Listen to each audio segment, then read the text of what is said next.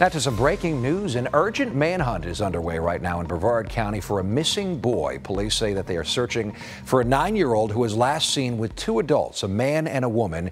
Here's a look at their pictures. The child, Sebastian Meacham, is on the left there. He was last seen in the 800 block of Atz Road. This is in Malabar. Police say he could be in the company of Tony Hughes. His picture is in the middle of the screen, and Chrissy Hughes is on the right there.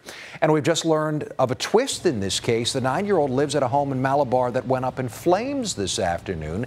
It's the same home where the boy was last seen. The fire department tells us they found one person dead inside the two-story house, but they have not identified who the deceased is because the house is so badly damaged.